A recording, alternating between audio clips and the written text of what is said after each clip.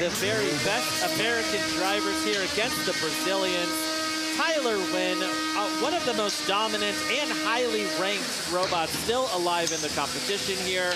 And by the way, Tyler is no stranger to defeating top-level Brazilian robots. At Robo Games, he's done it before in the past. He's just top-notch all the way across the board. He knows exactly what he's doing.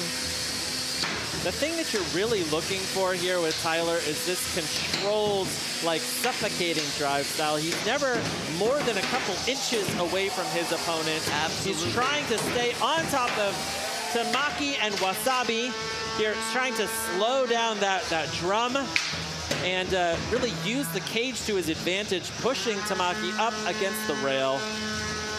As you can see, the weapon on Dread Hades is having a little bit of issue. Now it's back up. There we go. Dread Hades just staying an inch to two inches away. Oh, Ooh, oh, no! Nice. Yes. Tamaki scoring a huge hit. All right, there's the one save from Brett. Tamaki now going to work, popping Dread Hades in the air. The weapon on Dread Hades has gone down. What a turn.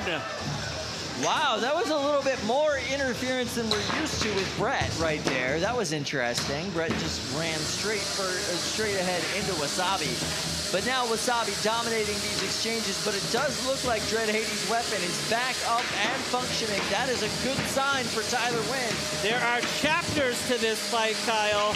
Absolutely. We're in the last one minute and 10 seconds of this fight, and now both bots are even. They both have active weapons, active drives, fully functional.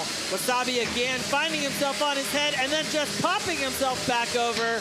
Absolutely. What a powerful weapon on Wasabi. It's just able to really dominate these weapon-to-weapon -weapon exchanges and flip its own bot over as needed. 50 seconds left. There's bits of wood everywhere. These two robots have been tearing up this box. Oh, Incredible. I would hate to be a judge on this match if this does go to the judges. Oh! Wow, end over end flip from Wasabi to Dread Hades there, and another one. Dread Hades still finds itself on its head. Here as we enter the last 20 seconds, here we go. Back on its feet.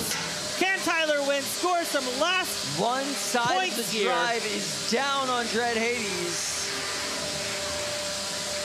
Tyler now twisting there against the rail. Less than oh, five seconds nice left hit in this on fight. the Wasabi from Dread Hades there. One side of the drive being down did not impede them, and that is the end of this fight. Weapons down to the door if you can. Amazing. This one goes to the judges, and that was a Donnybrook of a match.